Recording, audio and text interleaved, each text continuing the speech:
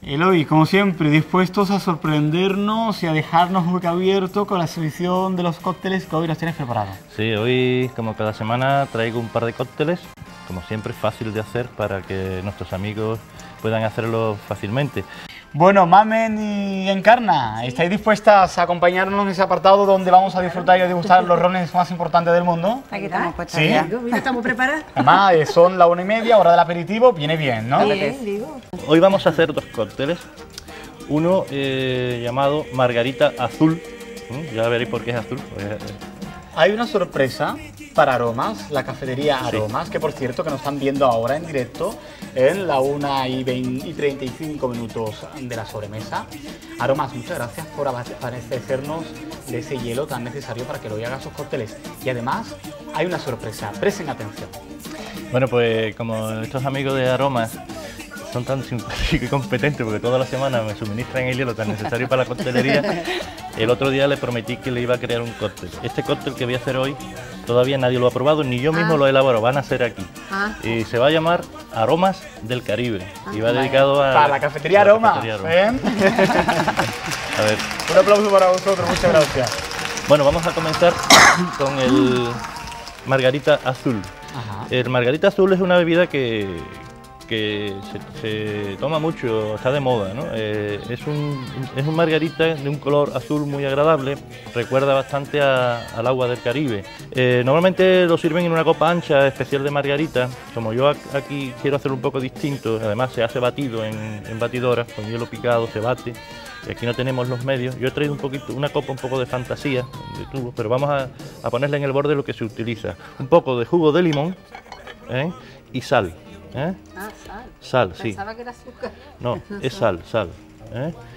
Y eso los margaritas suelen llevarlo siempre. Voy a hacer un par de ellos. Y este cóctel se elabora con jugo de limón, poco de azúcar, tequila por supuesto y curazao azul, que es el que le va a dar ese color. Curazao. ¿eh? ¿Eh? Bueno, pues vamos a comenzar ya con, con la coctelera a la cual le vamos a añadir el hielo. ¿Cuál era este cóctel que estamos preparando, Eloy? Margarita azul. Y Margarita azul. Bueno, pues ya tenemos aquí la, la coctelera con bastante hielo y ahora vamos a añadir el jugo de limón recién exprimido. ¿eh? Antes de venir para acá lo he exprimido en, en el Museo de Ron.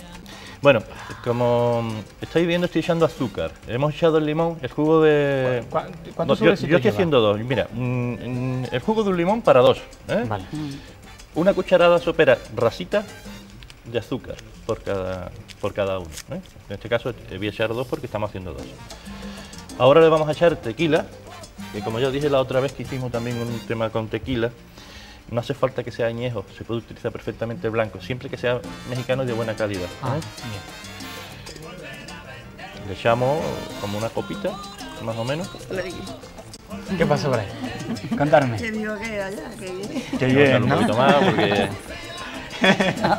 bueno, y ahora le vamos a poner el, el curazao. Normalmente un margarita normal se utiliza triple sec, curazao blanco o rojo, que da igual. Y, pero en este caso lo lleva azul para que le va a dar color precioso, es un color. Vamos a ver qué es lo que sale. A ver. Porque normalmente esto se suele hacer en, en como dije antes, en, en batidora. Se, suele tomar batido y es mucho más refrescante, en una copa Bueno. ancha. Pero vamos, Vamos, que eso lo metes en la Termomix y te sale de no, esto escándalo, ahora ¿no? yo con mi con el toque maestro, verás tú Le que pega al botón, Ahora- ahora pla, pla, y al momento sonido hecho. delicioso El toque del maestro. movimiento del cóctel, mira. ¿Eh? Esto es para ponerte a bailar. Claro, ¿eh? eh, ahí cogiendo ritmo. le vamos a dar bastante para que salga bien fresquito. ¿no? Tiene, algo- tiene una ciencia batirlo, ¿no? Tiene su estilo, pero más que nada es práctica.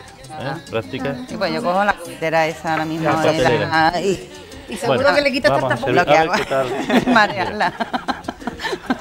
Hoy, de vista está precioso, ¿eh? Que vamos a intentar de que salgan tres para que tengamos uno para cada Mira qué uno. Y una pregunta, ¿la sal qué sentido tiene?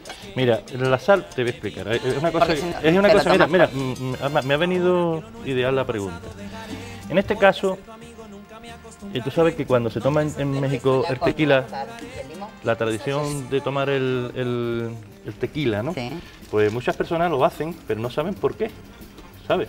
Tiene, tiene su sentido. Y, Es para rebajar el no, no, es todo lo contrario. Para. El, el- el- el tequila es una bebida vegetal. Yo he bebido tequila con sal y Sí, limón sí. en México. Sí, pero ¿tú cómo lo haces? Pues si te digo la verdad, hace tanto tiempo ya que No, mira, yo me acuerdo que, que cogíamos lo que era la sal, el limón, Sí.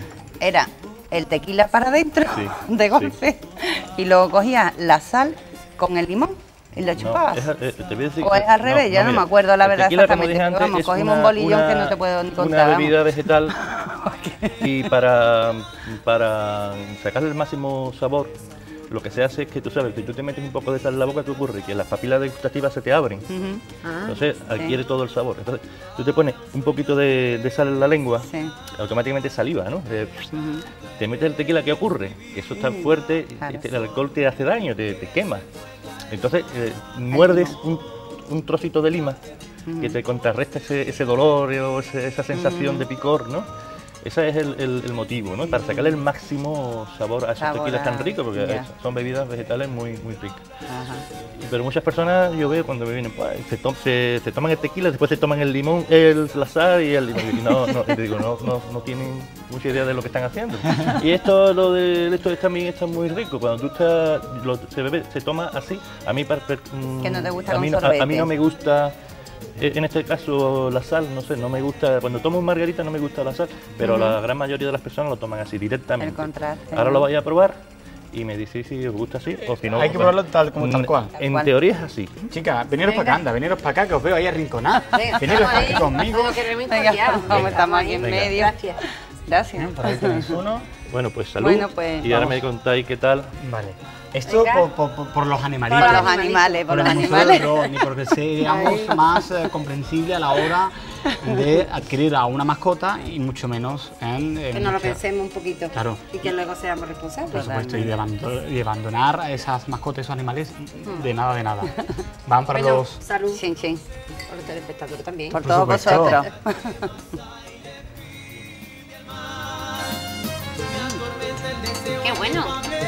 El- ahora lo que estaba comentando antes, ahora mm, ¿Cómo la, está? la- la Está sensación rico, que ¿verdad? tiene la sal, La sal. o no. Vamos a salir de aquí Si haciendo veis que no os gusta, podéis tomar un sorbete. ¿Te No, no, gusta? no, está bueno. Es agradable. Sí, agradable. el contraste que de- del ácido, digamos, del limón con la sal. Hay y personas con- que no les gusta, pues se utiliza un sorbete y Pues punto. está bueno. Pero a mí el- Está el, líquido bueno. está, el líquido está fantástico. ¿eh? Riquísimo, riquísimo. Está bueno, bueno. Y muy refrescante. Mira, eh, este cóctel, como dije antes, lo vamos a dedicar a nuestros amigos de la cafetería Aromas. Ah. Se va a llamar Aromas del Caribe. Mm, Se está creando aquí Se en está este creando en Hollywood. este momento en directo. Yo no lo he En un elaborado nunca. Este cóctel lo vamos a hacer de la siguiente manera. Vamos a utilizar jugo de naranja natural. Eh, un producto que se llama Pasoa y vamos a utilizar también jugo de piña, como siempre, de buena calidad. ¿eh? Muy bien. Entonces va, va a partes iguales, este es muy fácil de hacer. Dependiendo de la cantidad que vayamos a hacer, pues ya sabemos, todo en partes iguales. ¿eh? Vamos a hacerlo generoso para que cunda un poquito. Muy bueno, muy bueno. El pasoa es un producto que se hace de la fruta de la pasión. ¿eh? Bueno, pues Aromas vamos. del Caribe, perdona. Aromas del Caribe. Vale. Qué bien huele, ¿eh? A mí me he tenido un olor a hierba, hierbabuena o alguna especie parecida. ¿no más? Y ahora el jugo de piña natural. Un poco lo termino. Bueno, vamos a darle buenísimo. el toque maestro. La verdad que es que está Lo buenísimo. vamos a refrescar bastante. Bueno, está bien fresquito. Mira cómo me he quedado con las manos heladas. ¿Sabéis que el- el- cuando sabemos que está todo bien mezclado es cuando aparece esa humedad? y Sí, yo hoy le dado un poquito más, yo le he dado un poquito más de-. Ah, eso entonces cuando. Ah. Le he dado un poquito más de la cuenta para que se ponga bien frío, porque sabes. Sí, Este es más este, cálido. Este es, ¿verdad? un, es un poquito más, más pálido, sí, es un color muy bonito. Precisamente, Bueno, casi. pues aquí tenemos ya la preparación del aroma del Caribe. Bueno, pues Pues Bueno, para todos salud. vosotros Otro nuevamente, y por el Museo del Ron, Y por la salud, siempre hay que brindar por la salud, hija, que se Por Por supuesto. supuesto. vamos a probar esto. y por los perritos tal. también, ¿eh? Está buenísimo. Pues bueno, pues con estos deliciosos aperitivos nosotros nos vamos a ir a la publicidad. Vamos a agradecer a quienes han compartido con nosotros buena parte del programa. A Mamen Andrade, vicepresidenta de MAFI, bienvenida y muchas gracias. Muchas gracias a vosotros por la A la oportunidad. presidenta de Mafia, Encarna Millán, gracias por estar con nosotros. Gracias a vosotros. Eloy, por ti también, muchas gracias. Venga. Hasta la semana que viene. La semana que viene.